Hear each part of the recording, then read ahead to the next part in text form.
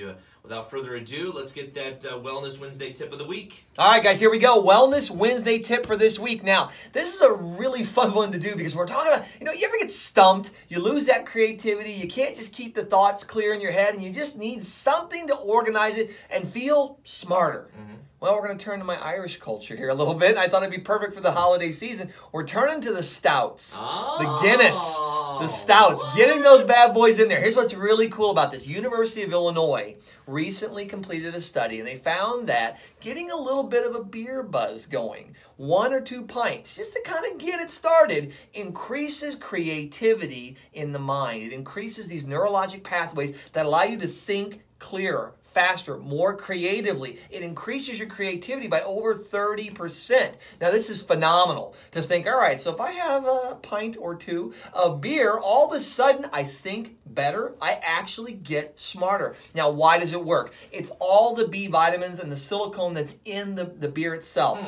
They stimulate chemical pathways in the brain and it helps to remove toxins from the brain. They've even shown at the University of Illinois study that it, it reduces plaque in the brain that's been associated with dementia and Alzheimer's. Wow. So this little simple old Irish adage of a beer or two a day may keep me away may actually work a little bit for you. So this is fantastic. But there's a caveat to this. We're going to turn to Spider-Man and go with a great quote, right? With great power comes great responsibility, right? So here's the deal, guys. If you go more than a pint or two, then you end up getting a little bit of false wisdom that can come along with that. So be careful, but it's a great tip. There you go, guys. And those tips are available at your convenience. 726-0151. Dr. Sean McCaffrey in the Health Center. They're uh, right there on Headley Road. Very easy to find here in Springfield. Schedule your appointment today or check out their website, mccaffreyhealth.com.